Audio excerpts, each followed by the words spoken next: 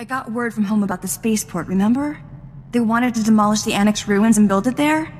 There was some grumbling, but I think everyone's settled down now. I can't believe they really listened to me. I feel like a diplomat now. But all this training, I still don't feel like a Jedi. You're gifted. But Jedi training is a lifetime's pursuit. It's not about where I'm going. It's where I started. I want to walk the same path you did. Go to Tython, see the Jedi Temple, follow where the ancient Jedi went. I wouldn't be gone long. Long enough to explore, of course. I have all your maps from the ship's computer. I'm ready. A sojourn on Tython would be good for you. Oh, thank you, thank you. I'll get my things right away. You're the best. I mean, I appreciate your great kindness, Master. See you soon.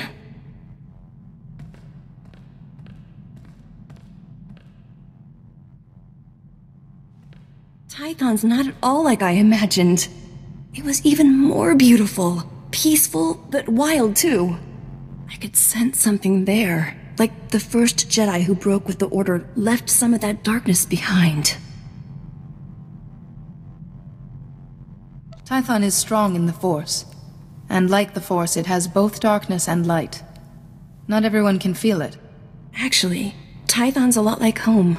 I wonder what I'd sense now if I went back there. It's like Tython's a place where where my powers and the Jedi teachings meet. Even if I wasn't your Padawan, there's somewhere I'd belong. Thank you for letting me go there. I'll never forget it.